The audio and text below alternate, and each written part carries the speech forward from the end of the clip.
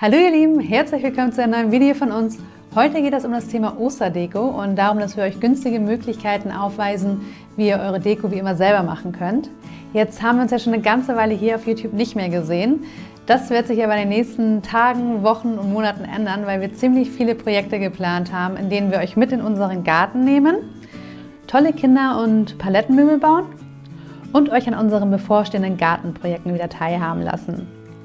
Wir freuen uns schon riesig auf all unsere geplanten Projekte und würden uns natürlich noch mehr freuen, wenn ihr wieder mit dabei seid.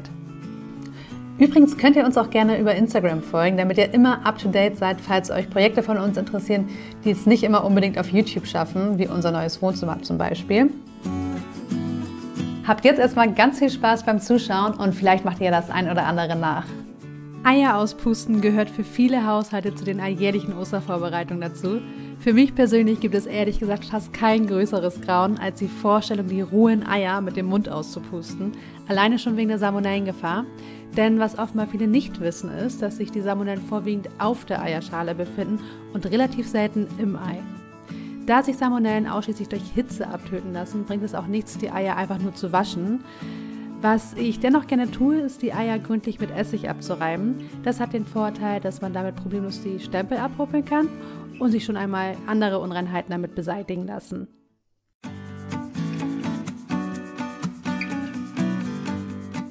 Um den Mundkontakt zu vermeiden, habe ich mir eine Spritze mit stumpfer Kanüle besorgt. Das Ei habe ich wie gewohnt mit dem Eierstecher von beiden Seiten angepiekt, das Loch etwas erweitert, damit der Inhalt besser abfließen kann und dann mit Hilfe der Spritze vorsichtig Luft in das Ei gegeben. Lasst euch hier bitte Zeit, weil euch die rohen Eier bei Überdruck sonst platzen und unter Umständen eine riesengroße Sauerei anrichten. Habt ihr alle Eier ausgepustet, könnt ihr den Inhalt natürlich wie gewohnt verwerten. Die leeren Eier habe ich nochmal gereinigt, indem ich Wasser mit Essig vermengt habe und mit Hilfe der Spritze in das Ei reingespritzt habe, um es auch nochmal von innen gründlich zu säubern. Ich zeige euch jetzt mal eben, wie schön sauber das Ei von innen ausschaut. Naja, und wo das Ei schon kaputt ist, kommt hier eine schnelle Idee für den Osterstrauß. Zieht zuerst eine Schnur zur späteren Aufhängung durch das obere Loch und verknotet es zu einer Schlaufe. Füllt das Ei mit etwas Stroh oder Ziergas auf und klebt nun kleine Ostermotive mit etwas Heißkleber vor oder in die Öffnung. Ja, und zum Schluss habe ich das Ei dann noch ein wenig mit bunten Punkten verziert.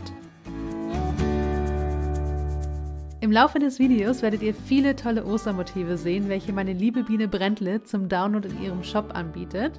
Dort findet ihr für jede Jahreszeit und für jeden Anlass die schönsten Motive, die ihr mit oder ohne Kinder wunderbar ausmalen und eurer Kreativität freien Lauf lassen könnt.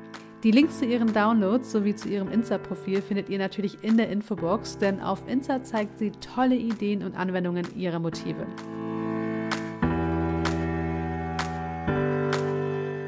Ein leerer Eierkarton lässt sich als Mitbringsel mit wenig Aufwand bunt gestalten. Wascht hierfür die Eierschalen gründlich aus und gebt sie in den Eierkarton. Ich habe die Eierschalen mit etwas Moos aus unserem Garten gefüllt, das lässt sich auch immer prima in Form schneiden. Zahnstocher in Kombination mit Heißkleber und Bienes Häschen, die ich vor dem Ausdruck auf 30% reduziert habe, sind süße Osterpicker, die ihr in allen Größen in eurer Osterdeko einsetzen könnt. Ihr werdet es im Laufe des Videos auch noch sehen. Positioniert die Picker und verziert dann das Ganze mit frühlingshaften Blüten.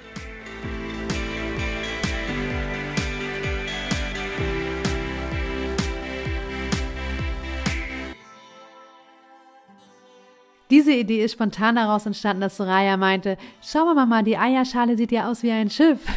Also habe ich wieder ein Häschen und eine Karotte vor dem Ausdruck auf 30% schrumpfen lassen, die Karotte als Fähnchen aufgespießt eine Perle für den Halt des Fähnchens aufgeklebt, wieder etwas Moos in die Eierschale gegeben, naja, und zuletzt das Fähnchen ins Moos gesteckt und das Häschen daran aufgeklebt. Ja, unsere Kleine fand es auf jeden Fall super.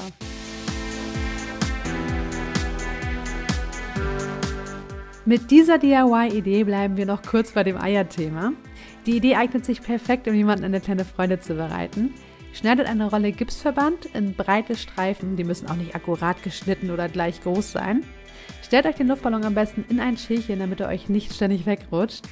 Ja, und nun könnt ihr die Gipsstreifen kurz ins Wasser tunken und den Ballon damit ummanteln. Streicht jeweils immer die Falten raus und arbeitet euch von oben nach unten, indem ihr die Gipsstreifen immer etwas übereinander lappen lasst.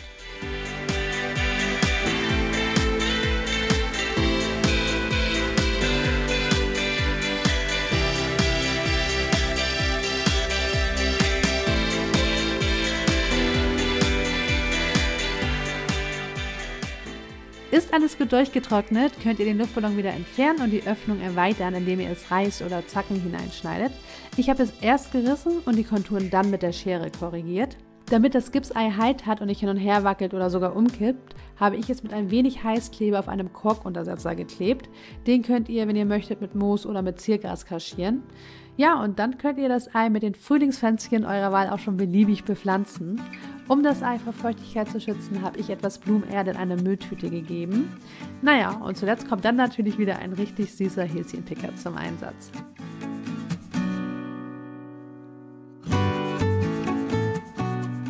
Ach so, ja genau. Diese nervigen Fasern hier am Gipsei lassen sich nur schwer mit einer Schere beseitigen. Wenn ihr Vaseline oder irgendeine andere fettige Creme zu Hause habt, könnt ihr sie einfach auf die Schnittstelle reiben, dann sind sie auch nicht mehr sichtbar.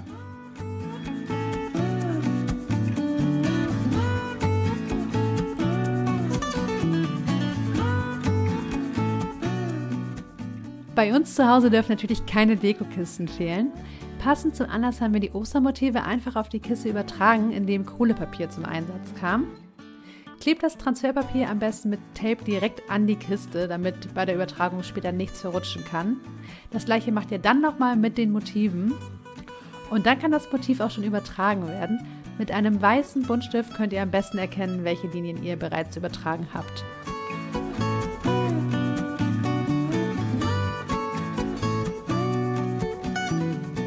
Ja, und zum Schluss zeichnet ihr die übertragene Linie mit einem wasserfesten Stift nach. Da habe ich jetzt die Acrylmarker von Biene verwendet. Die gibt es auch in allen möglichen bunten Farben, falls ihr das Motiv ausmalen möchtet. Und am Ende bepflanzt ihr die Holzkisten dann wieder ganz nach eurem Geschmack.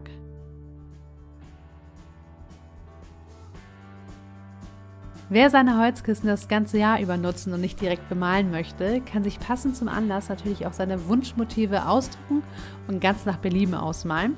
Das ist ja auch immer eine super schöne Sache mit Kindern, um sich auf die jeweiligen Anlässe gemeinsam einzustimmen.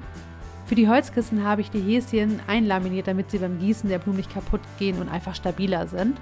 Schneidet die Motive mit einem Rand von mindestens 2 mm aus zum Schluss könnt ihr die einlaminierten Häschen entweder mit Heißkleber oder mit Stripes anbringen. Jedoch halten die Stripes langfristig nicht auf jeder Oberfläche optimal. So, und jetzt könnt ihr die Kissen ganz nach eurem Geschmack bepflanzen. Hier habe ich wieder eine Mülltüte verwendet, die ich auch nicht festgetackert, sondern einfach nur entsprechend ausgelegt und mit Erde befüllt habe.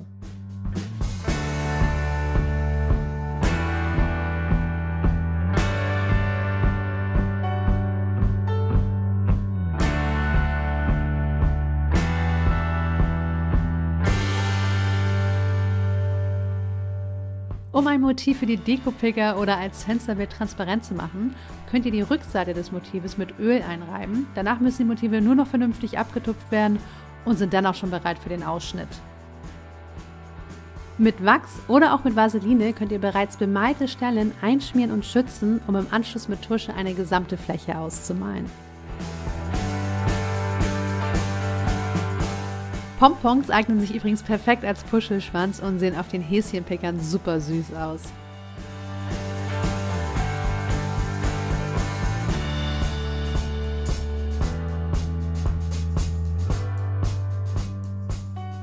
In unserem Online-Shop findet ihr eine große Auswahl an Holzkisten aller Art und in allen Größen und Farben.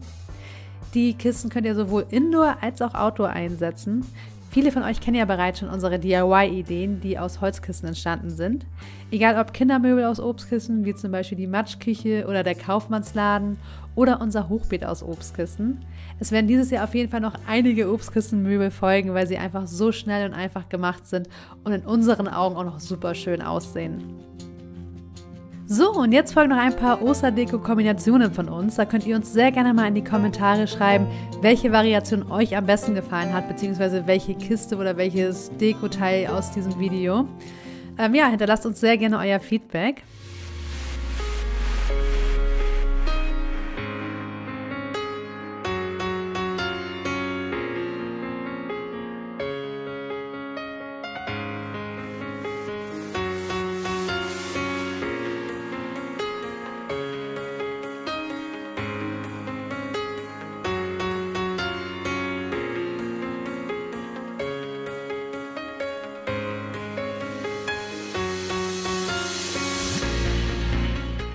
Übrigens haben wir ganz neu in unserem Shop diese Dekoleiter hier, die es in verschiedenen Größen und Farben gibt. Einige haben sie sicher auch schon in unserem Wohnzimmer gesehen auf Instagram. Ah ja, genau. Und diese Weidenkörbe sind auch ganz neu bei uns im Shop und werden auf jeden Fall zur Hochbeeternte unter ständigem Einsatz sein. In der Infobox findet ihr natürlich wie immer die wichtigsten Links. Das war's auch schon wieder von uns. Wir hoffen, dass euch unser Deko-Video gefallen hat. Hinterlasst uns gerne ein Abo, falls ihr noch kein Teil unserer Community seid oder keine Videos mehr verpassen möchtet. Wir sagen jetzt Tschüss und bis ganz bald.